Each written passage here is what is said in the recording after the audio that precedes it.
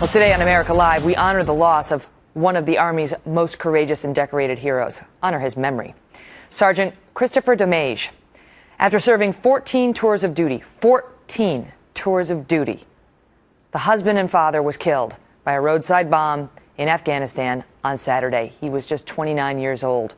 Domeij was a 10 year veteran, an elite ranger, and a recipient of three Bronze Stars. And he will go down in Army history as one of the soldiers who rescued Jessica Lynch from her captors in Iraq in 2003. Trace Gallagher with his incredible story. Trace. You know, I was kind of looking through his background, Megyn, and all you really can say is wow, because as an elite Army Ranger, Kristoffer Domeij really was one of our greatest military men. I mean, if you look at his list of accomplishments, it is absolutely exceptional.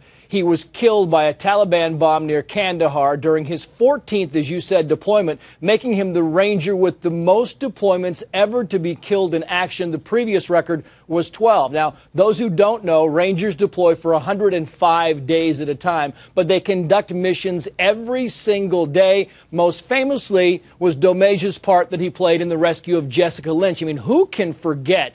This night vision video, Iraq 2003, that midnight raid into enemy territory, the Navy SEALs, the Army Rangers going in, finally whisking Jessica Lynch onto that helicopter and out of enemy territory. That clearly is the most famous uh, one. But if you look at his other awards, the length, the list is lengthy. Look at this. Three times he was awarded the Bronze Star. Three times the Iraq Campaign Medal.